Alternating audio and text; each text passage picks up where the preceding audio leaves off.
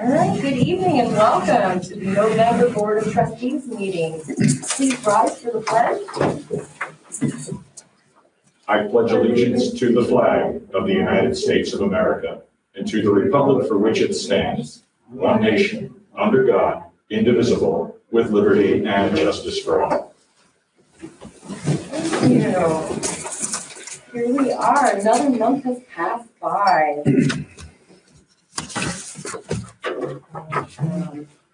COVID, uh, I'll speak to that just for, right off the beginning. Um, COVID again has prevented us from having uh, more public in-person meetings, so we're live streaming them to try to stay in compliance and keep everybody healthy.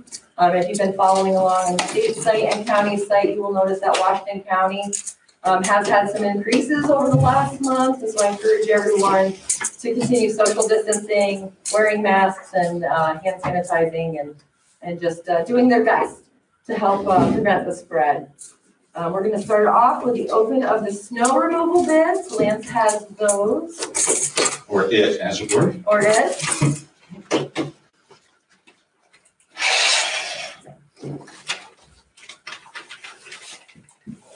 We have one bid here, I believe it's from DNR Trucking, Vincent Vecchione. And it's the same as last year, quote seventy dollars per hour for twenty, for 2020, 2021 fiscal year snow removal. Equipment rental, truck and driver is included, is CDL, registration and insurance. Okay. That's our only bid. Like I said, this, uh, this is the same as last year's Last rate. year. So, um, it's, he asked for seventy dollars an hour, but I'm, I'm assuming we do have a budget line. for For snow removal, absolutely. Okay, do you know how much offhand that was? Oh, I'm What not, does it matter? not prepared to answer that. I that. think we get from the state, I think it's eighty. And then we pay whatever. Okay right, he only comes in and does it while we're doing the snow removal Right. for the state, Right, so that's reimbursed gotcha. From the state. So if we're willing to accept it, the motion would simply be accept bid from VNR Trucking for snow removal services 2020 to 2021 at a $70 per hour rate. And you said that was the same rate charged last year? Yes, Has it been the same rate for a few years? for a few years now. Okay. I'll make the motion. Okay, so Steve Howard, A second. yes. Any discussion? All those in favor? Aye. Any opposed? All right, thank you.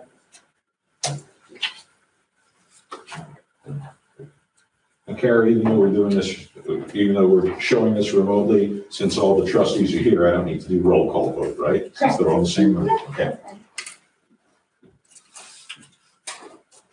All right, we have uh, some items for public comment, um, so I will go ahead and read those off. Um, This one is from Richard Cherry, um, and it says, "Dear Lance, could you pass, please pass this on to the mayor to be read at tonight's public meeting?" And it says, "In relation to the public lighting in the village of Cambridge, National Grid has confirmed again, as they repeatedly have, that the Cambridge Village government has the decision-making power for choosing the type of lighting for the village streets. Um, I believe we had gotten an email several months ago to the same effect, which we have information from National Grid that that, that is not in fact what they were talking about. I'll pull up the email from Joe Polone. Um,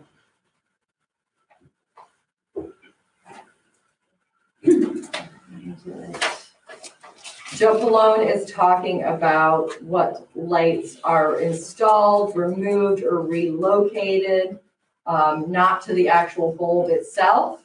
Um, if that were the case, then the village would have converted to LEDs back in 2014 because that's when the village had approached National Grid to convert to LED at that time. And since National Grid did not utilize LED bulbs, they would not convert uh, the village back then in 2014. I remember a previous trustee that, that was looking into that. Um, so that's that's the response to that. Um, by all means, Richard, you can reach out to Mr. Colon again at National Grid to confirm the intent of, of his email, um, that it was not in relation to the bulbs. Um, it was in relation to the actual type of fixtures, whether you want the old fashioned historic fixture or a newer modern fixture, etc. Um, and then we have another one from Mari Cherry. And, uh, it says, this is to be read aloud in lieu of my presence. Uh, to Mayor Vogel, I've learned that my personal and medical details, including my doctor's letter, have been shared, discussed, and ridiculed amongst the coworkers at your office workplace for many months now. I ask that it please stop. It is inappropriate and offensive to me. I sent private information by necessity addressed to you and the village board members. At public meetings, you have been selectively quoting segments from letters sent in previous years, pre-LED conversation, all of which went unanswered at the time. Selective outdated quotes are misleading and misrepresent the situation and sequence of events. I ask you to please stop doing that also. A couple of board members have indicated that they did not see at least some of the correspondence I've sent alerting them to the fact and severity of my lifelong disability and describing the catastrophic consequences of the LED conversion on me and my family. I have resubmitted copies from the past two years and a half so that they can read them now and also note the dates. The questions and concerns they contain remain unanswered and unaddressed. A fundamental aspect of your job as a representative is to hear, listen, and consider a wide array of concerns from your constituents. You should be prepared to evaluate, each one based on its specifics and the potential ramifications, including ethical ramifications of your decisions. Each constituent should be able to expect open, fair-minded, equal treatment and a timely response. No one should have to fear that their basic human right to life and safety could be subverted by a vote from careless or disinterested elected officials. Your focus now should be only on correcting the condition causing severe harm to a community member rather than on seeking rationales for leaving those conditions partly or fully in place. There are other ways and choices to illuminate a village. I have no choice about having the disability I was born with. Each of us is ultimately judged by how we treat others over whom we have control. I ask you to contemplate how you control over the lighting choices for the village, over my personal information, and over my correspondence from the past two plus years have led to this treatment of my family and me. Thank you, Mary Ann Cherry. Um, so that is the latest, and since we're talking about it, um, I'll start right off the bat. That first section about learning about our personal medical details, doc- doctor's letters being shared and discussed and ridiculed, that is not true. That is not true because we don't have any medical or personal information. The board here has one, one letter from 20 2010. one letter from twenty ten, that's all we have. So that is misrepresenting and basically lying that there's information. No one is sitting around here ridiculing or making fun of this situation. We have all taken it seriously. Um, in regards to the board members that had not seen correspondence, yes, there are two board members on this board who were not on this board when the decision was made to convert. Um, the conversion was decided on in February of twenty nineteen, and our two board members did not come on for the first board meeting until April of twenty nineteen. Um, since you have re- received copies of all of those communications. Yes. Yes, so they have received copies of those communications, but formerly, no, they, they did not, they were not on the board. Um, Any, anybody want to jump in on, on this letter here, have thoughts in response to it? I would say, I think, as we've all said before, I think we want to, like, we, we want to come to a resolution to this. There are certain limitations with National Grid, so Mayor Vogel, like, if it's helpful to sort of summarize that, and then Cora, if there's any guidelines from you about like next steps to come to a resolution. Would that be help, I know we've, we've covered this before, but would that be helpful for us to all? Yeah, I, I will, you know, also, we also have a petition that was submitted as well. Uh, the bulk of the signers are not even from the village, do not even live here. Uh, petitions, they're, they're great. Actually, this petition does, is not actually a petition because it doesn't have signatures. It has names typed. It doesn't have actual signatures from people. Uh, we're not bound by petitions. Um, but it also, you know, it's good to have petitions because you kind of know where your constituency is at with an issue. Um, National Grid, National, and, and this, this petition is for the full removal, the full removal of LED lights in the village. It is not asking for just the five, it wants the full removal of the LEDs. And that is not something that we can offer. That is National Grid. The only reason we could offer the five pole change back was because National Grid was willing to do so. Um, so that, that's the area that we're limited in. We can't offer to take the LEDs. They're not going anywhere. They're going to Greenwich now, they're going to Salem. National Grid has said over and over again that we're converting to LED. Um, because that is part of NYSERDA's program for the year twenty thirty. I just actually got two emails from NYSERDA last week talking about converting, the benefits of converting and the timeline for conversion in communities in New York. Um, so, so that, that is where, where it's headed.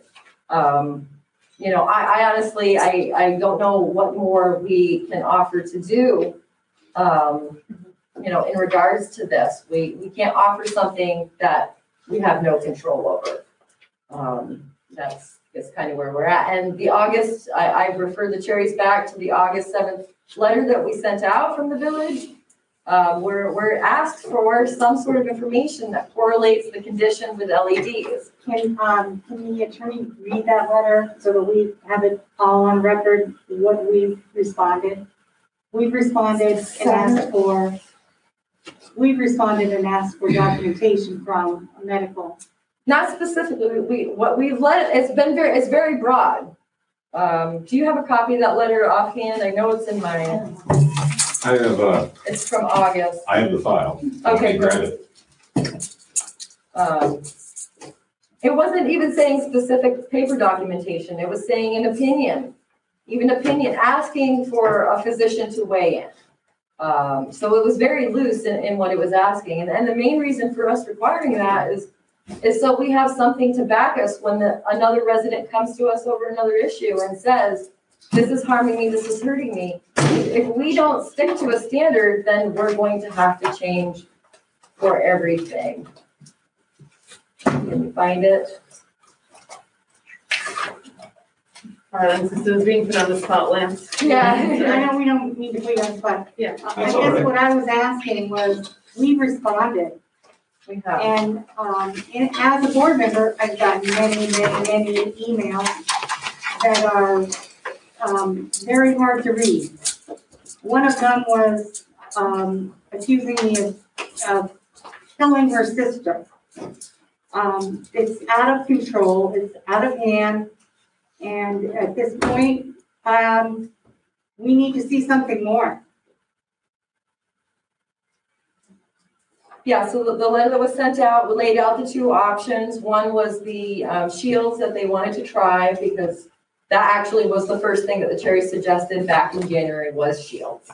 Um, and then the other is the five poles, and, and this is what we requested. This is the August letter that was sent to the Cherries.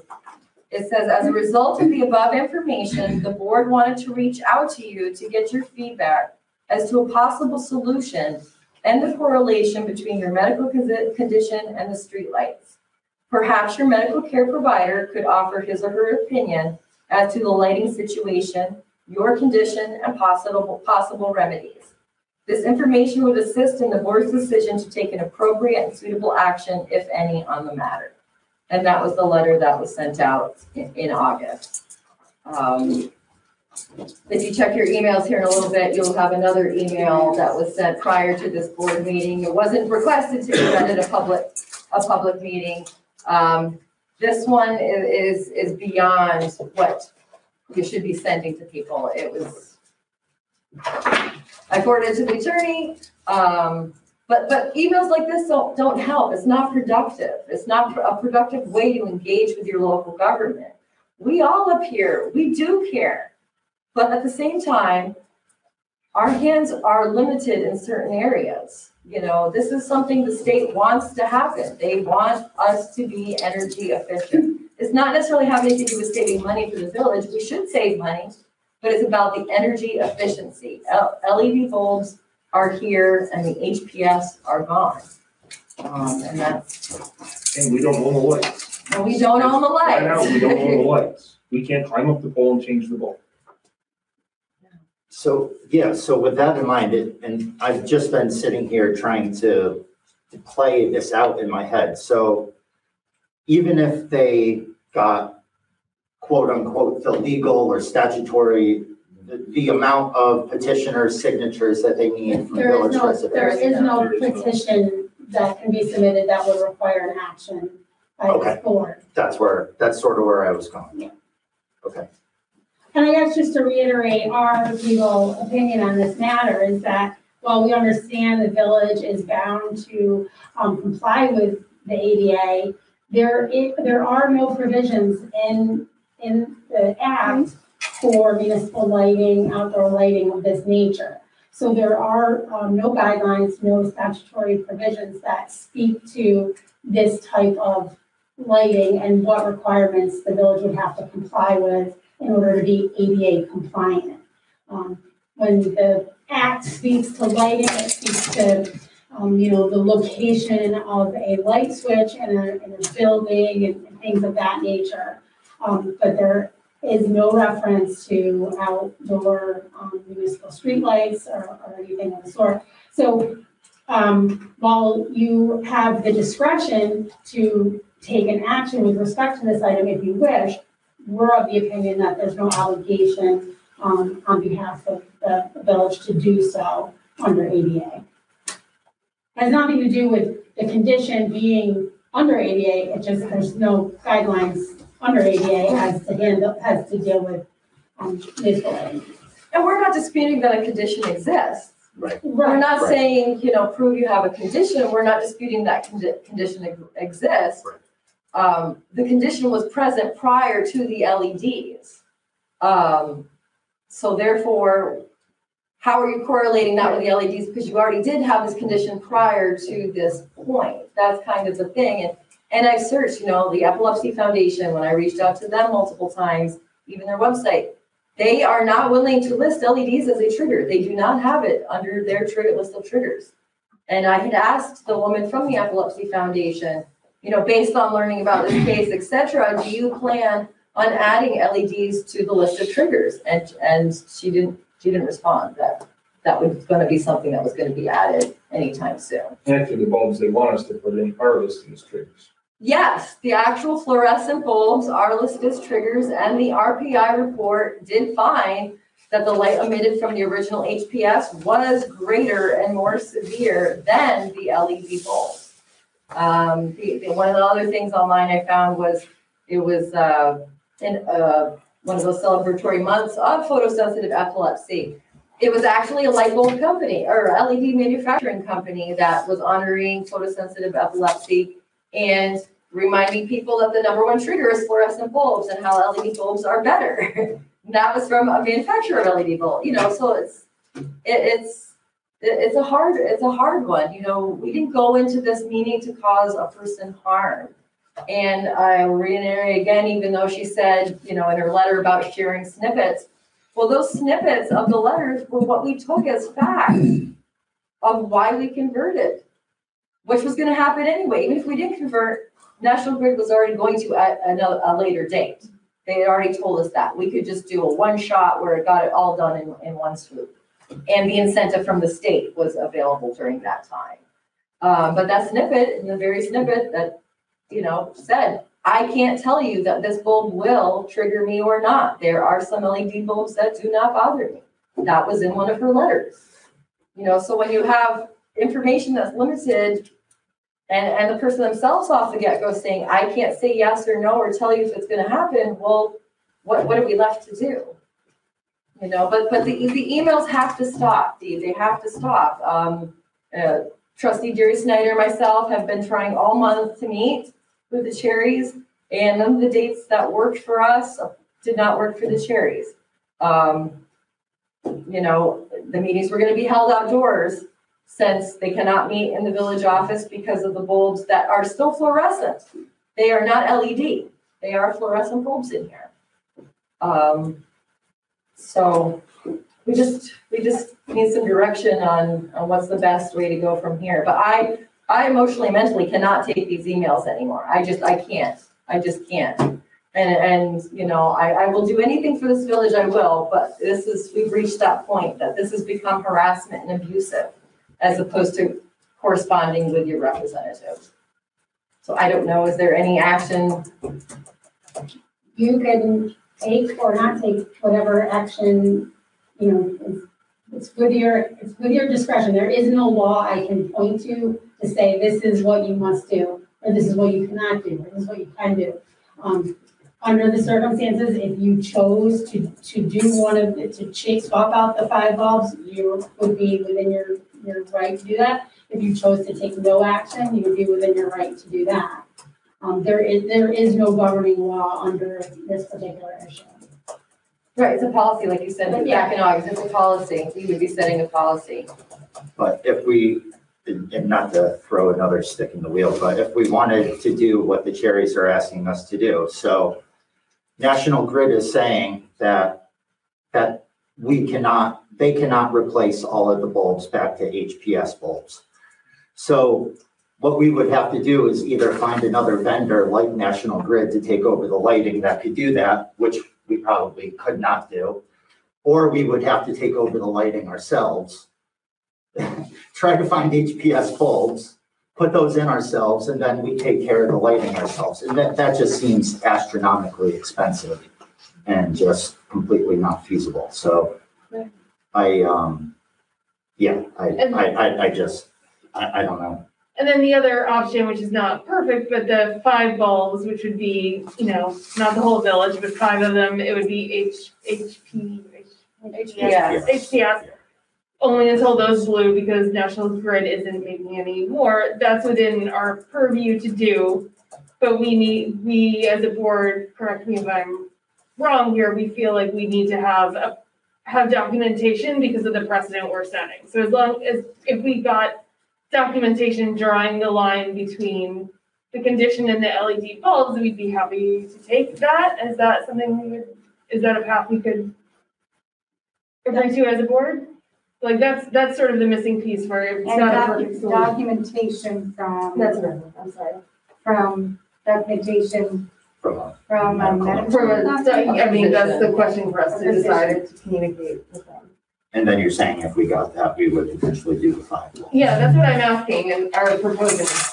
Uh, Well, That would come up for vote, so it's in, in, in hypothetically, you know, the cherries tomorrow, if you're watching and, you know, you decide you do want to talk to your doctor and your doctor drafts up a little letter saying, hey, you know, blah, blah, blah, blah, blah. And we receive that, then this board Drawing a line between the LED and. and the condition, the condition. So, uh, uh, some examples of correlation, I guess that would be, instead of drawing a Yeah, I think line. that's what you've asked for in Examples, the and past, that's so what you you've asked for, not, review it and examples make a of decision. correlation.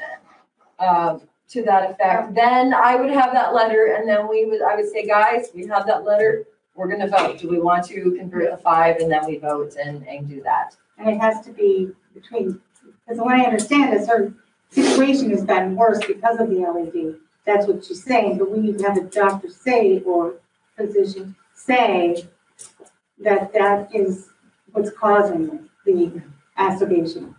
Um, it's, it's gotten worse, from what she's saying. I mean, we did it, I mean, it was pretty broad, you know, broad area in our letter. We, we left it, you know, an opinion, you know, even an opinion, uh, um, would be helpful. And then it- it- if we do that, then, you know, when the lights do blow out, then that will have to be addressed again by a future village board at that time. And that would be roughly three years or so. Uh, they, it varies. A lot, some HPS can go as long as fifteen. Could be six months. Um, it could, right, it could be. It's like if- a light It's a bulb in light our house. It's like, yeah, there's no, he, he couldn't guarantee any, any time frame, and, and I'll just, And I'll, I don't think you can guarantee that those lights would be available again. They Right, won't- right. right, and that's what he said, they're not, Well, they're Well, not. National Grid explicitly Yeah. said they will not do Well, the that. manufa, well, see, that's not just National Grid, the manufacturing of those bulbs. National Grid doesn't manufacture those bulbs, but the manufacturing of those bulbs is, is going away. Um,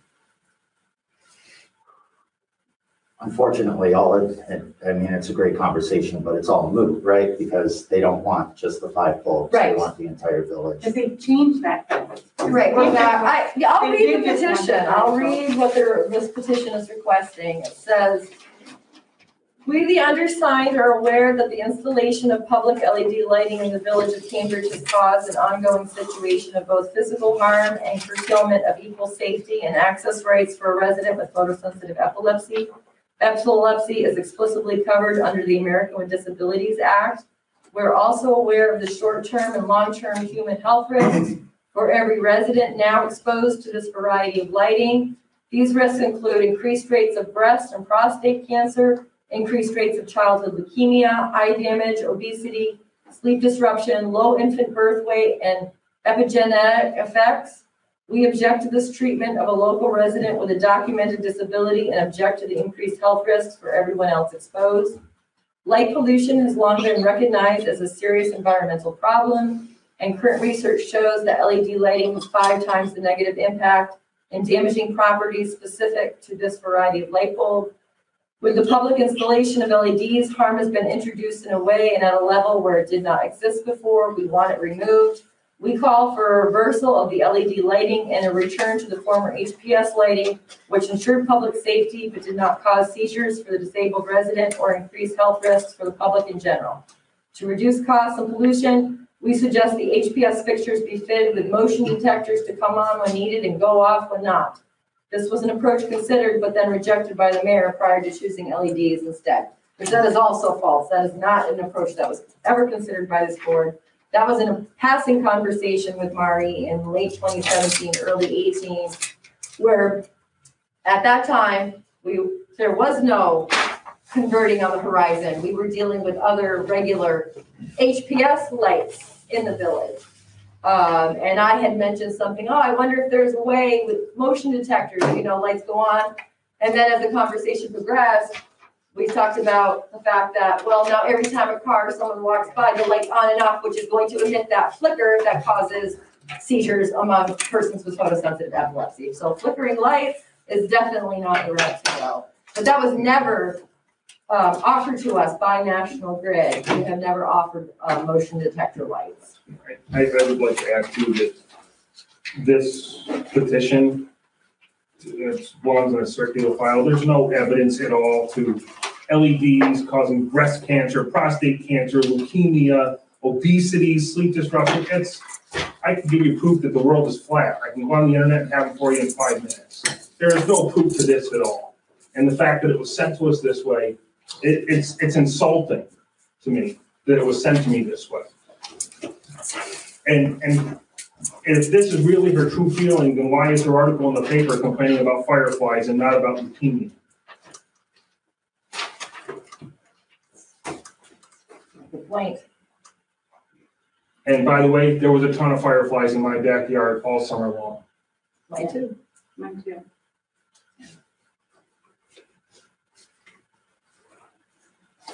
I don't think we would be at this point if we would, if we would have, the Cherries could accommodate our schedule to meet. I think this is just all of the um, emails that we've gotten, the threats, the debasing of our intelligence has gotten out of control, out of control. We certainly wouldn't have been talking about it for this long either No. if we didn't care. So it's a topic we definitely We have care care, about. but we've, it's been, it's been a topic for Just, as, uh, as long as I've, for Since a year, January. it's January, and we have cared. We wouldn't have asked to have meetings or try to accommodate her schedule, we wouldn't have if we didn't care. All right, well, we've, we've had our discussion. Um, To any of those that are watching that have more questions, or any of those that have signed the petition that live in the village, I see names on, on here from villagers. You're all very welcome to watch any of the previous meetings if you need more information, or as well send your emails to ask more questions. But I encourage you to find out more um, on, on this topic and about what has been going on um, for, for the past several months. You should have a copy, don't you? Do you have, you give her a copy? Uh, every- Everyone should have. got it. Yeah. We got a- we got a couple. It's uh, like underneath your packet. I'm sorry. No, that's okay. Oh, there it is. Here. You just want my pre-warned one. So we will, we will move along and I'm sure we will follow up with this probably next month and, and maybe have some, you know, new information. And to the chairs, if you're watching, you know, I implore you, you know, we, we, we will, I will take the, the very minimum of what you may have for any information that comes from a professional physician. Um, it, it's gotta come from someone who's, who's worked with you as opposed to being something off the internet. Um, so, you know, please consider submitting that and, and then we can move on from here. All right, All right, under approval of minutes, uh, we've got seven October and thirteen October. Uh, Thirteen October is pretty simple. Seven October I sent out and I've already incorporated feedback I've gotten from you. wonderful. Do we have a motion to approve the October seventh, twenty twenty board meeting minutes as written? I'll make the motion. Mm-hmm. I will second. Steve? no? Any discussion? All those in favor? Aye. Any opposed? All right, and then the next one is for the October thirteenth special board meeting minutes as written. So I don't have any questions about the, um, the minutes per se, but actually, so we have, obviously, we have an associate justice, right? Yes, Um, backup judge. okay.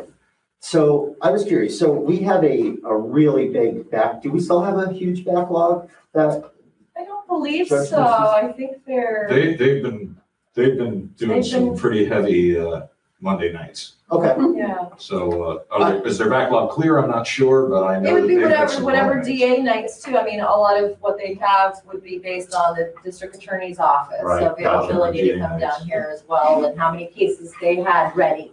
okay, so, so that would, that's actually, would probably limit what my follow-up question is. If they had such a huge backlog, like, why couldn't they have, uh, Judge Lucy do Monday nights and then Judge Malia do every Tuesday night?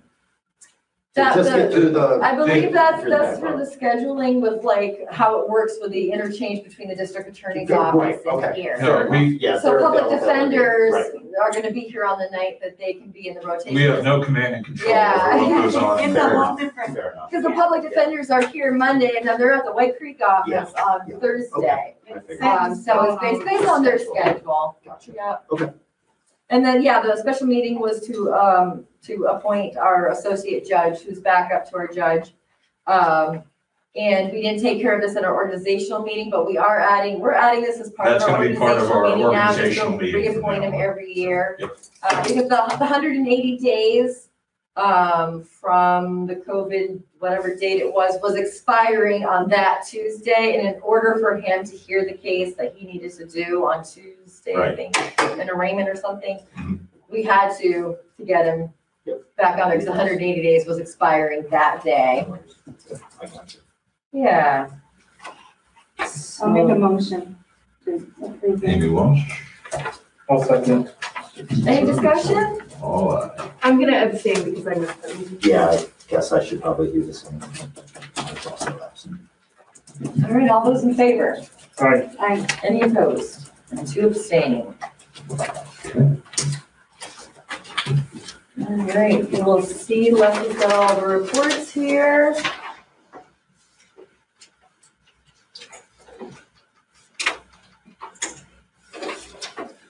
So on the vouchers, we're looking at uh, unpaid vouchers that would be totaling fifteen thousand eight hundred fifty-two dollars and eighty-one cents. And paid vouchers totaling ten thousand five hundred thirty-one dollars and fifty cents.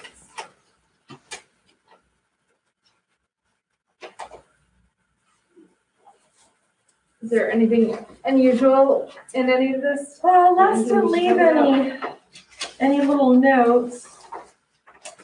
Um, you'll see, I mean, Kingsbury sweeping, that's on there, because we had, we rented the sweeper. No, that was for No? the chips. What? Uh, That's all the chip money. They come Well, and, no, but it's still an expense, the Yeah, yeah, sweeping. yeah. The sweeping is still an expense, yeah. Yeah, how it gets paid, that's different than, yep. Um, that's a different bill.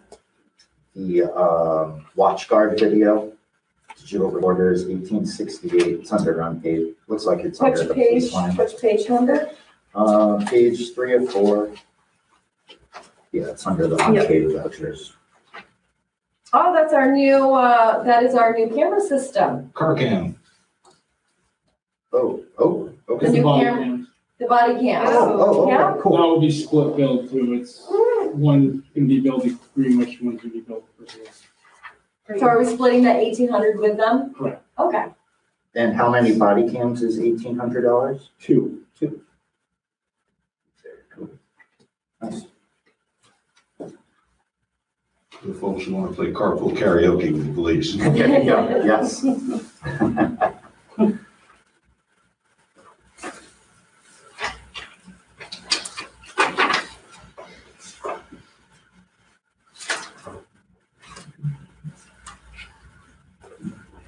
Hydrant flushing. Seven thousand dollars for hydrant flushing. Yeah, I know.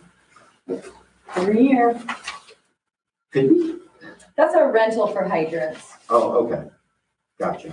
We don't, we don't pay for the water, but we pay for the rental of the hydrants from American Water. Gotcha.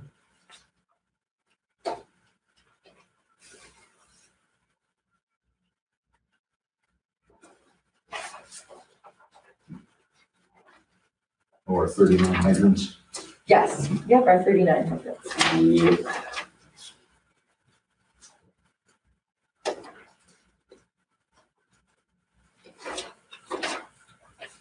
Any, any other questions in regards to the bills? Nope. I'll make a motion. Okay, so we got Steve Fowler making a motion, I'll second it. Steve Robertson. Any discussion? All those in favor? Aye. Any opposed? Alright, Lucy Les has in there all the operating statements, year-to-date for us.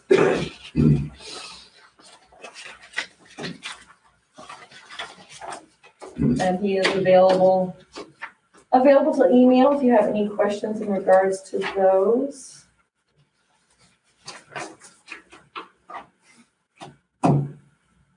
All right, um, moving right along, the bulk of my month has been spent, um, working on stuff for the firehouse, um, to get moving to the next step, working with CT Male. Um, Kara gave the all clear for the contract last week, so that has been signed and sent over to CT Male. Um, and before us tonight, we have from Hartgen, which is doing the archaeological. Uh, this is a letter of resolution for the mitigation of adverse impacts on the cultural resources within the proposed volunteer fire department project area. Um, this is to satisfy the needs, um, for the New York State Department of Environmental Conservation, as well as the Office of Parks and Recreation. Um, so they need us to adopt this, uh, letter of resolution in order for them to submit that, and then they have the all clear to start the RPO work, um, out on the site. So I can read it if you all, if you'd like me to read it, uh, there's a lot of whereases, but I'll, I Do can, we need to read all the? do we need to read all the whereases, Actually, I put a motion at the end which should summarize well. All of, okay, authorize. Authorize mayor to sign letter, letter of resolution document 07 P as in Papa, R as in Romeo, 06537 as written above. These are all Hmm? publicly accessible. Yeah, these are all publicly Absolutely. accessible. If you wanted a copy to read the, all the whereases, um, this is just all the stuff that they have to, to state, um, in regards, like here it has the, you know, the site number and the, uh, talking about the different parts of it. Um, the stipulations and, um, the protocols. You know, they, this is all the things the state needs to see, uh, that they are doing, um, so that way the RTO is done in compliance with those entities. And then Lance also has included the, you can read through the whole, whole rest of these papers are all of, all of the, uh, RTO stuff, their whole list of what they had done up to this point. Site and to- everything, to- so to the give bulk you of, the bulk of the rest of the packet is all of that information, is a copy of it that was submitted, this is all the stuff we submitted to the state on our behalf. Um, So yes. And you said we, we keep copies of this stuff handy for. the Oh, public. yeah. Oh, yeah, this is, this is not, this is a Nothing public else to do. document, yeah. Read some It's a public document, but yeah, I- and none of you commented on how thick the packet was tonight. I thought, oh boy, they're gonna think something's up. Yeah, right. And, uh, most of it is is in regard to the RPO. So someone willing to make the motion is read? I'll make the motion. Amy, you're awesome. Any second? I'll second. Maybe yes. Any discussion? All those in favor? Any opposed? So Mary. All right. And they haven't extracted the materials yet. No, no, no, they, they can't do that. Yeah, this is all the stuff they had to submit to get pre-authorization from the state to do so. And once I sign this form, then they have the full thing done with the state, and then they can begin. And we'll be able to see pictures or something of what they. They'll, they'll actually take probably pictures of everything and catalog it. They usually, like, they, if the, the old report, um, from the last time that showed the artifacts, Mhm. that report, Lance has a Okay. copy of that that you could get, and it will have some pictures of the items in, in there, in their actual report that they Okay. provide us. But the artifacts themselves are taken and turned over to the state. All right, You Sign it while the board's right, authorizing. there we you. go, yeah. All right, if there's any other questions from board members from myself? If it comes to mind, you can always jump in. We'll go right ahead.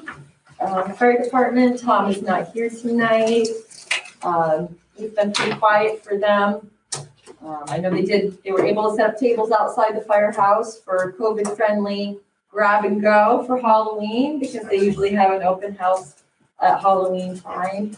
Um, and they are also doing, um, the iRobot donated to them one of those Roomba vacuums to raffle off for a firehouse fundraiser. So if you want to buy raffle tickets for the, the Roomba, just reach out to the fire department, they have those. Uh, other than that, they had no items for us to take action on.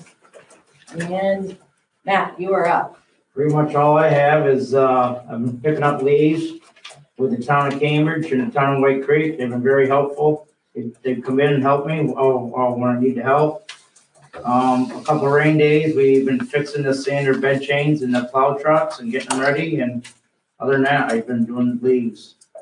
Um, and Mr. Van Hook is asking if he can donate a print, and all the proceeds go to the DPW.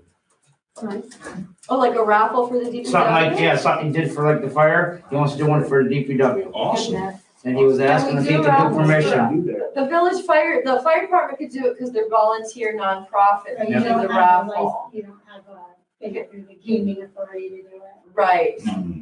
So someone, someone else could do it. and Someone else could run the donate raffle and then proceeds. donate the proceeds. So if Mr. Van Hook wanted to Wants to run the raffle and then donate the himself proceeds, yep, all right. and then donate the I'll let him know. proceeds. He stopped me the other day maybe like- picking leaves. A community partnership or somebody else like that too.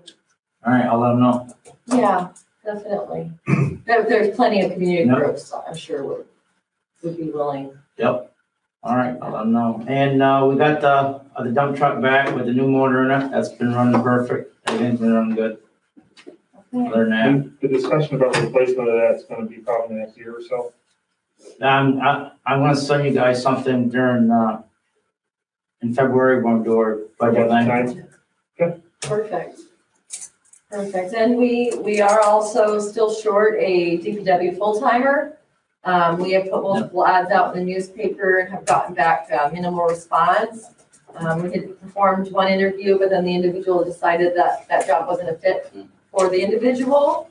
Um, so, you know, I, we can, I guess that we can leave it open and not necessarily put it in the newspaper every week, but we are still looking for a full-time. Um, we do have a game plan for the winter though, because that was my concern is, is that now we only have Matt who can run our trucks.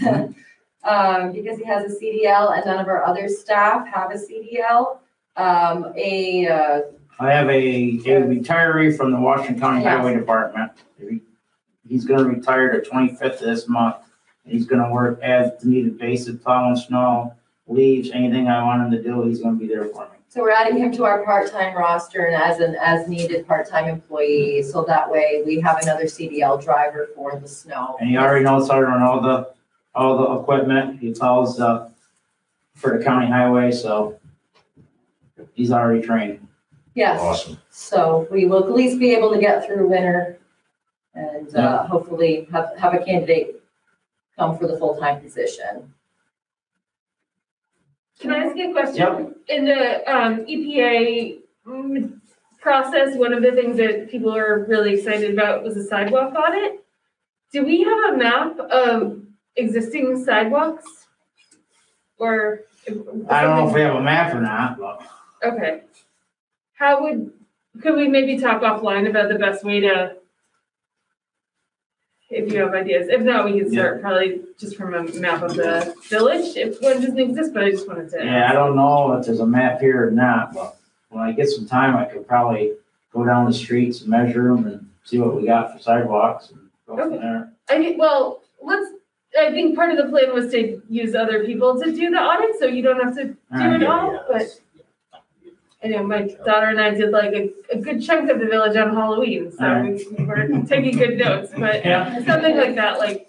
We're actually thinking about maybe we could do it over like a turkey trot type thing, like over, you know, everybody sort of fans out with doing that, but, um, I don't know if that's going to work. So we can connect offline, Alright, thank you. yep, And the, the, the weird way our sidewalk law is set up in the village, right, is we wouldn't really keep track of something like that because that's the homeowner's property. Is, is that my The understanding? side, the side streets are the side streets, that's it, yes, that's the it, okay, main, the okay, on the main main. drives, which actually, That's we- ours, I, I actually have a response from, there were some questions sent to me and also White Creek Supervisor Jimmy Griffith in regards to, so, um, the state, so the governor announced, was it last week or the week before, that they're gonna be resurfacing from twenty-two down three thirteen to Jackson. Um, and someone had inquired about that as a possibility for throwing in the sidewalks. Uh, it's, it's a whole separate project for sidewalks. Um, not only that, I'll, I'll read you off here if I can get to it. I got so many emails today, sorry. Um, cause she referenced a little bit with the, the state road.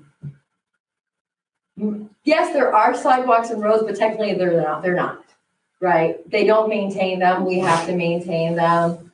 Um, oh, it was just this, it was just a few days ago, I'm sorry, I wasn't, I wasn't even thinking about Sorry. talking about that, no. Um, this was in regards to Abby, yes, okay, so this was from Washington County Superintendent, uh, Deb.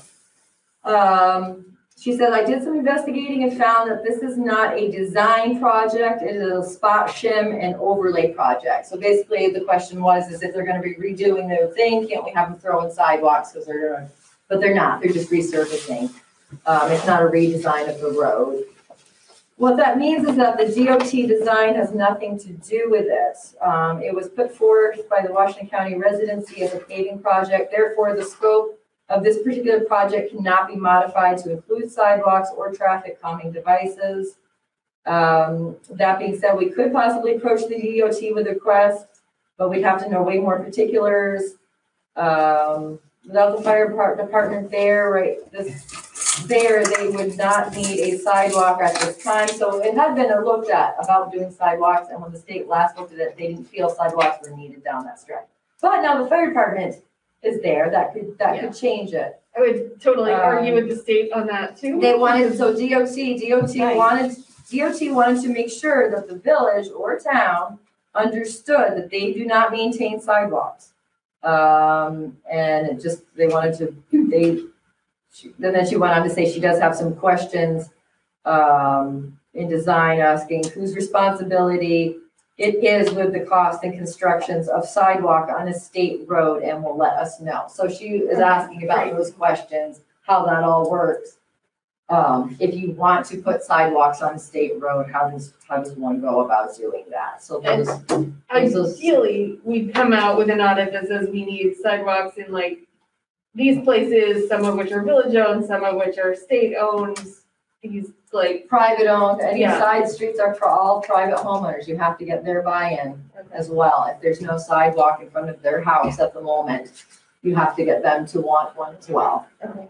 Um, so it's, yeah, it's a lot of little layers, those layers that bog things down. And there's never any clear cut, clear cut, let's just do it type things. You have to get everybody that's involved. It was about ten years ago they tried to do that, and they come with a price from the state, and we can never do Could it. never afford it at that time, yeah. Uh, Because while they're plowing up three thirteen, we're gonna have to have a guy out there just as much as they are. Because they're going through all that snow on our on the sidewalks. sidewalk. And that's the thing too, is it's We not, can't it's even not keep just Main Street getting, open with the county and the state doing it now. We had more sidewalk, it's not just the sidewalk No, it's putting it in, just it's the overall maintenance. maintenance Who's still. plowing it, who's taking care of it over the next, you know, several years, so. But they're, they're looking into that for us with DOT, so that's, that was really good. If, if, if, if,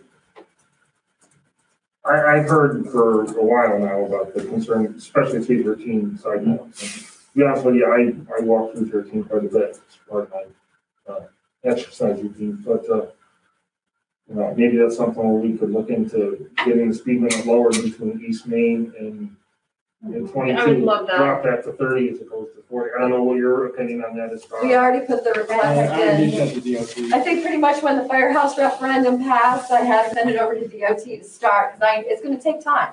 Because they'll do their speed study, study, and that, and that's the thing to understand too, is that when state or other entities come into play, just because we want it to happen doesn't mean it's going to happen, and we have to be prepared for that, because they're going to do their traffic study, they're gonna put down their thing, and then they're gonna tell us whether they think we need it or not, and that's sometimes, that's hard. It is hard as a municipality because it's like, well, it's ours. It is, but it technically isn't, you know, there's, there's that weird overlay. But that's been a forty mile an hour Right. speed zone since I was a kid. And Right. When I was a kid, there was no health center, there was no rescue squad, the condominiums weren't there. It wasn't The developed. A lot daycare, has the changed. daycare, like Yeah. when, There's, like the daycare, which doesn't have pickup or aftercare, so kids that need to stay after need to get themselves from the school to the daycare, which for a while meant crossing two streets with a forty mile an hour thing with no, with no, um, sidewalks. Right. I think the Like school's terrifying. busing them now, though. They are busing them now because they were able to redo the, the point, we worked with Vince on that, but it's still like, it'd be nice if they could walk, At the like, same kids token, should because a walk business is at a often. location doesn't mean, you know, that's, that's part of choosing where you have your are you business. telling me the school is busing kids to Sunshine but not to our facility? Yes. Yes, and I, well, I don't know about our facility, they're busing them to Sunshine and it's based on the state, a, a couple years ago, it was based on the state DOT, like you get points for how dangerous it is, so the streets that they have to cross, it was, it goes over a certain level, and so they, the other option was that the kids had to walk up three thirteen, and they were able to, to do the analysis with the state to get clearance to bus. That's two you know. The last study was nineteen ninety-nine by DOT on the, on three thirteen. Not three fifteen, it was ninety-nine. So a lot has changed since nineteen ninety-nine on that stretch. There's a lot more development there than there used to be. But from that study, they determined there's no reason to decrease the speed limit. Yeah. I just, Ninety-nine, the health center wasn't I there. just don't understand what, I mean, what, what is stopping us from taking the, this speed limit sign down, putting up a new one? I mean, Because we don't own that stretch. Do we want to pave that stretch of road from now on out? I what, mean, is don't that, give is us that the- what would happen? I mean, That- yeah, the, that's what- the state would transfer ownership of the road over Well, they're to not us gonna if we transfer put up a everything. speed They're gonna limit do sign up? I So like mean, for instance, on Academy, we dropped that down to twenty-five, uh, three years ago. Right. We sent in the thing that we were doing it to DOT and they were aware of it, but we didn't have to necessarily get their permission because it's our It's road. We right, pave it, right. we take care of it, we do everything with it. It's I not. can't hang up a sign A at the state. intersection of Academy and three seventy-two. It's going on their road, they have to uh, set the stop sign up, I couldn't do it. If I set up, I take full responsibility if a car hits it. and- Wow. And our It's, purple, yeah. our purple. Yeah, yeah, with purple Our hearts, purple I can't heart put up. signs are still in the office because the state needs to install them and then the state's gonna pick. We want it at our entrances, but they're going to pick the point of where it Where it's goes gonna based go. On, on, so they're not blocking, uh, lines of sight Mine's like, uh, with, with traffic, because they, they take that responsibility. If there's an accident and someone says, ah, I can see that car coming because that sign was in my way, No, no. the state is taking responsibility for that as opposed to us, if they handle that and install those. So, yeah, it's, it's a lot of those government layers, government layers. Yeah. The government is truly like an onion, you know, one layer connects to the next and the next, and, and the, the situations of overlap. Did, um, what we sent to DOT, did we only talk about the stretch between, um, Main Street and, um, and Park? Or does it go all the way up to Spring Street? The full stretch of three thirteen? Did you, I don't think it had to specify, did it, on I your, think it was within village limits. Okay. Okay, we That's good. we talking uh, the request that we put in for a reduction along three thirteen? I just stated all of three things. Yeah, we didn't, we didn't Beautiful. necessarily put a, because if we can do it all the way to the, Oh, I know Spring several Street. residents who would love then that. all they just Oh, yeah. do is Stretch, yeah, yeah. Yeah, it's crazy, we can't just say, like, we, we don't have anything on the books that says like, there is no speed limit within village limits, you know, over thirty or over twenty-five, like, we can't. We can on the parts of the road that we control. Right. We do not control 372, 22, or three thirteen. Those are state highways.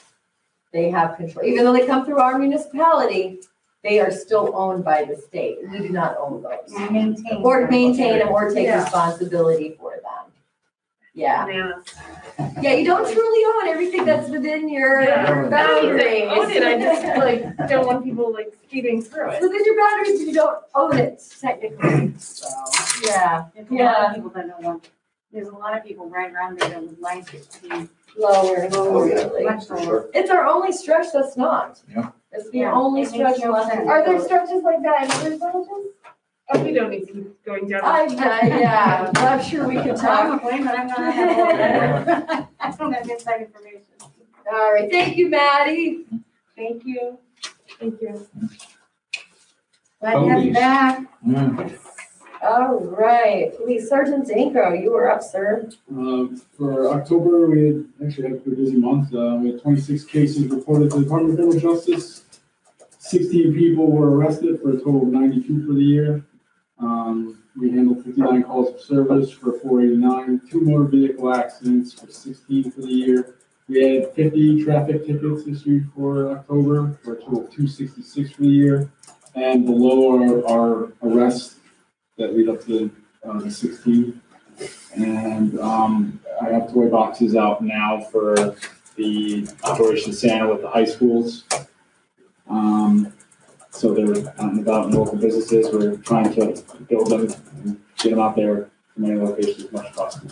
Did you try big lots over in Greenwich? Yes, we have, we have one in there. Awesome. Are you gonna have one We have here? one with Kmart. Are you gonna have one here? Yeah, I need to buy some boxes because the school was giving us the boxes, but they ran out. So, because they've been supplying us for, I don't know how many years. Oh, okay.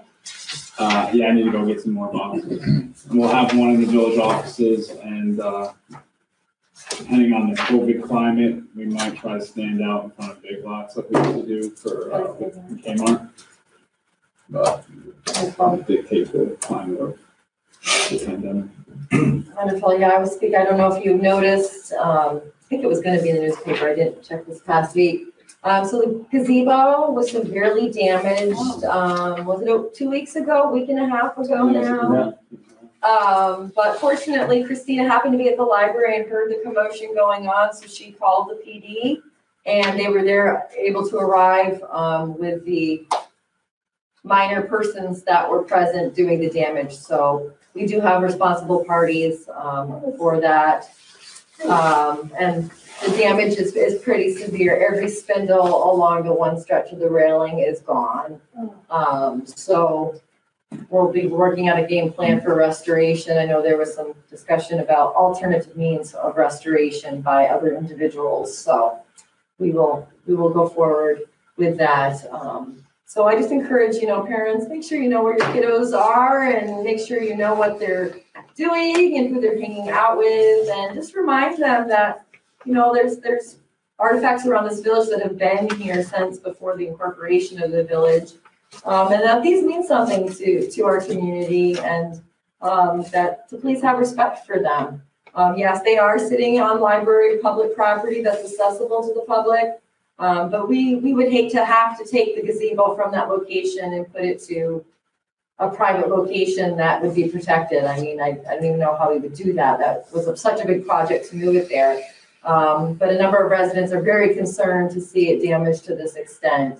Um, and, you know, just everybody stay vigilant and, and be on the lookout. Uh, and if you see something, report it, say something. So did, I'm sorry, did you say it was a minor? Two minors, Two therefore, minors. yeah, So I, I'm guessing it's gonna go to family court and not the village court, but could a judge like force them to like do Take up labor? woodworking? Yeah, do labor. they can. that's, that, Okay. that has been discussed, Okay, that's- that's cool. absolutely. I believe that's the plan. Uh, well, we can't really speak, I mean, they never Well, destroy it gonna again if they had to rebuild decide. it, right? I mean, It's that that was their work. community service has always been an Yeah, option that for family sure. court likes to utilize, so that could very well be the case in this Yeah. instance, so. Yeah. And, and when I say minors, we're not talking teenage children. We're talking younger, so it's, it's very sad. So please, you know, parents, please know where your children are and what they're doing. And uh, just a quick question, Sergeant Dako. Um, fifty traffic tickets, that's, that's a lot for a month, isn't it? What- Do you know if it was like mostly speeding tickets and stuff? Uh, yes and no, some were multiple tickets for one person. Fair enough. Thanks. You're welcome. Youth. Nice. And then Lindsay posted the youth report and there, um, going along smoothly with after school. Um, following the COVID procedures and protocols and lots of hand washing. Um, but so far so good and there have been no, uh, no, no cases in regards to our program there. So we had, um, Serve Pro come in and clean the building out before any kids came in, right? With- No, we No, did not have that- that SERVPRO, we didn't did that in-house. Oh, yeah. okay, great, okay. Yeah. Yeah, there, um, so when you go to the Forward New York page for each, there's sections for everything in Forward New York. I'm, I'm actually sick of that site right now, but, um, well, I understand there was no requirement that a childcare facility had to be professionally clean by an outside party. They just wanted to, you know, as long as you utilize this, this, this, clean this, this, and this, they, so we and I had our checklist of what needed to be taken care of before the opening of after school in September. Yeah. All right, assessor, Uh, just executive session material. absolutely. Zoning enforcement, uh, did you put that in here, Lot? Yeah. No, I got it late, so I just, All right, there, we got it. pretty straightforward, mostly ORCC signs. Yeah, most of it's just stuff that's going through county. You got ZBA and planning board, neither had a meeting in the We past had a month. meeting, pretty quiet month for them as well. Story and report you should have in there. Attorney, Um, I don't have any report except for executive session. all right, thank you. And Christine has the library info there as well. Browse through that. And clerk, All right. Okay, I'm going to be transmitting all of our tax, uh, tax stuff up to county at this point. I think we have our final tally in here of what was collected. And, uh, our final collection, we collected ninety-two point nine percent of, uh, of what we, uh, intended to collect. The rest will be re-levied onto town and county tax bills. So, uh, successful year. Uh, registrar, uh, just twenty birth and death certificates, vital records, completed. I've taken over submitting the CHIPS uh, reimbursement paperwork from Les, and that has all been submitted. Uh, looking to potentially get about seventy-six grand reimbursement from the three different programs, including CHIPS. Um, however, I've been told that when they actually get around to it, it may end up being about seventy-five to eighty percent based upon we just gotta wait and Way see things how have it gone in the all state. shakes Yeah. out, yeah. Exactly. Uh, let's see, the village court report is attached. Uh, congratulations, we are now in the window for the twenty twenty-one elections. So you see a copy of the announcement that I'm going to put out, uh, which by, uh, by uh, law, I need to get it out in the next week or so. Uh, I guess, uh, Steve Halleck and, uh, ADS there, you're, uh, in the, uh, reelection window conceivably. Uh, we, this will be our first election where we will be putting our justice up for a four-year term as opposed to doing a year-by-year until Phil Sika's unexpired term was completed, God rest his soul. Uh, and the mayoral election will be in the spring. Absolutely. Two years goes fast. It does. Time flies when you're having fun, man. Uh, pending your question, uh, pending your questions, that completes my report. So, um, I have just, uh, just a question, just to end things, if no one else has any questions. So we talk about, um, the side, the sidewalk issue. Um, there's a village law, um, regarding sidewalks. Now, is that, is that village law within state law? Or is that the village of Cambridge's own law, set of laws? That was the Village of Cambridge's own law. Gotcha. um, because the state doesn't provide sidewalks apart from their state road, or doesn't help kick in the money, like you can't get money, because sometimes that's how the main, like the Main Street, uh, project, what year was it, 2013, 2014, when they redid the stretch of sidewalk in front of IGA and on that whole corner, I don't know if you remember that. Sure. That was all done through the state, was, was state funds, um, that that was taken care of. Um, but they only do that along their road, meaning the rest of the village, all the side streets would have no street, no sidewalks. And then over the years, since, you know, whatever, whenever the first person built a house in here, back in the day, they had their slate sidewalk in front of their house, and this one had this in front of their house, and this one. So the sidewalk kind of happened organically by each individual person wanted to stretch in front of their home type of deal. That's kind of how they sprang out. And then at some point, when sidewalks became a more standard form of thing to have, then they started making a more formalized thing to do it. Um, the, the village's law, I forget the year, it's, is it seventies or eighties that they passed the sidewalk law? Oh, I've got a whole binder of laws. Yeah, yeah, yeah. I'm not gonna hit You you. can pull it though. So Um, I it was appreciate that. passed because in, in theory, there was no way the village could ever afford to pay for every sidewalk in the village. Gotcha. Um, that, that would be too cumbersome, but they didn't want to prevent sidewalk from happening, so that's where they had that section that said, if you, the homeowner pays for the equipment, the supplies, the, you know, all the materials to do the sidewalk, the DPW can provide the labor um, to do that. So some have come about over the years, the DPW has laid those sidewalks um, and converted some from slate. And they were, yeah, they were, in the most of the spots, they never had sidewalk. And if I go and I start ripping up slate sidewalk, it's not gonna be nice. Yeah, I mean, the When people homeowner come has out, to they're gonna they. call, they call the cops, they want Yeah. news channels, they don't want their slate ripped up. I'm telling you right now. It's such an interesting, it's so fascinating, Yes. like the love of the slate. it's They love it. So very So slippery. slippery, it's so slippery. Yeah, and then they call me during a rainstorm and says it's slippery. Well, what do you want me to do? Yeah. I can't put nothing And on then, it. like, so Spring Street, at the end of Spring Street, going toward three thirteen, one of the, there's a lot of new homes happening in mm-hmm. that area. And one of them had reached out to me and I went down and met them and they were talking about a sidewalk and I said, oh, well, you know, yeah, here's how the thing works. If you provide all this, you know, pay for everything, basically, you, you can have it put in. Um, and it would match up, it's gonna go, and then we were talking about where is it gonna go?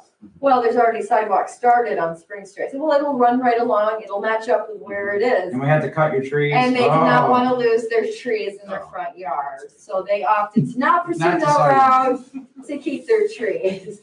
Because it has to be built, so you have to remember that under, underneath, underneath the road and sidewalk is infrastructure. You've got the American Water stuff going underneath there. So the sidewalk has to be built in a way that doesn't make it on the water lines and allows the hydrants on the roads to flow.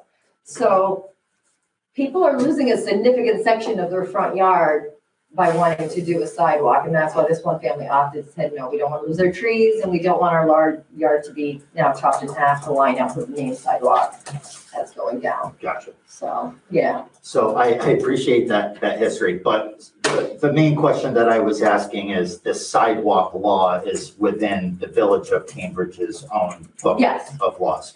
Yes. So are also within that book of laws for just the village of Cambridge is the, um, the, the term lengths for, for the mayor. we do not have term li- limits in the village. Term The length. The- term- the- Oh, length, So yes, for like the yes, two I'm years, sorry, is that, yeah. is that within the state laws, village law, or is that within New our York, law? there, there is a section of village. New York law, and I would sooner defer to our Yeah. attorney here, Right, which is called village. Yes, basically yes, New York and that's what I'm talking Right. about, our term lengths within that part Your of state terms of law. office, yeah, those are set out by village law. Oh, okay. Or public officer law. Okay, so if we wanted to extend the length of the mayor's term, terms or the trustees, if we wanted to go from two years to four Wow. years, do we change just the village of Cambridge's laws, or are we able to do that if we wanted to? I don't, I don't know, there's certain there's, I'll have to take a look.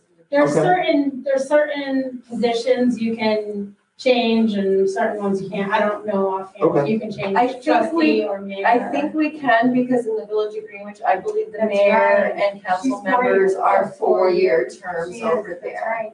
Um, so there are some villages that utilize four and some that do two. There's, u- when it's, when it's able to be done, there's usually a timing requirement as to when you do it, how you, the mechanism in order to do that. I don't know if it requires, it might it probably require some sort of referendum. I would That, that was gonna be the question, we Yeah, couldn't just do it by like, resolution. Right, right? Correct. just- yeah, Gotcha. I mean, I can look, at- I can look into it. No, I, I was just thinking about it. I, I, I don't think there's any real need to extend terms, but yeah, I was just curious.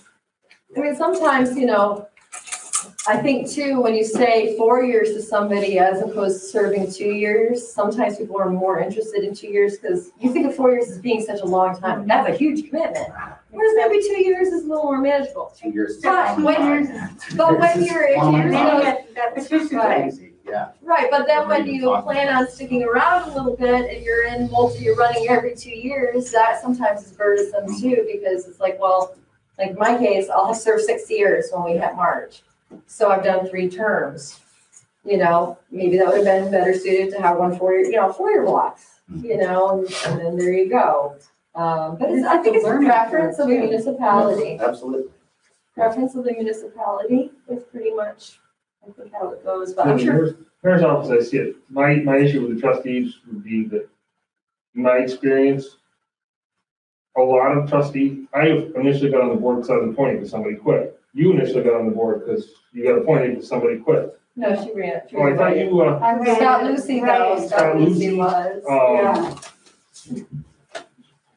Kate, Yep, Carrie. mhm. and then Alan Dupuy. there So was- someone there were doesn't numerous, and it fulfill their always seems term. to happen, that Yeah. somebody's just like, I've done this for a year and a half, I've had enough, I'm done. Yeah. The guy I replaced, I ran against him in an election, lost by a couple votes. Two months later, he quit because he didn't feel like dealing with the politics on the board. Like, Why did you run? Yeah, right.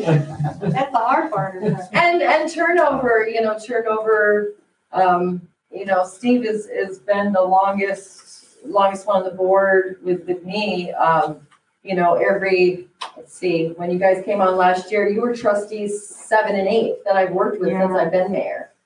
And sometimes, you know, that's hard too, because you're always bringing people up to speed about all the, you know, the issues, you know, so some, sometimes it is, it, it's, it's kind of a preference thing, you know. Um, four years, two years, how do you want to do it? I, I would think if, if, if village elections were, you know, like, like city elections where you actually had to, you know, fundraise and raise funds and spend an obscene amount of money on your campaign every two years. You know, but here it's pretty rural. I mean, we have to get our signatures and we get on the ballot and then we, you know, do some minor signs maybe and campaigning loosely with flyers, et cetera. Um, but we're not running a full-fledged campaign as in some other communities, you know, have to. So, yeah, so something to think about. Any other questions before we move on to executive? Yeah, I think it's good consecutive. Yes, all right. Do we have a motion to enter executive session for the purpose of discussing current litigation and other legal matters pertaining to the village? Steve I'll second. and Amy, You wanna go first? discussion. All those, yeah, discussion, does anybody really want to discuss? Okay. All those in favor? Aye. Any opposed? This is why you're deputy mayor. Right. All right. we should be back. All right, welcome back. All right, we do have one item to handle, uh, coming out of executive session, um, in regards to sick time, vacation time, accruals, and a modification to one of those. Uh, so Carl, how would you, how would you So, like that Um, the resolution would be to authorize hundred and forty-eight hours of sick time used by Matt Tolan to be reflected as vacation. Paulson.